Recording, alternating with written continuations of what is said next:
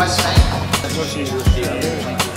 Their own safetyness. Uh, the United Kingdom, in any case, is the delegate of Israel and not recognized. Are controlled, but in all other situations that are not deemed emergency situations, Palestine proposes that instead of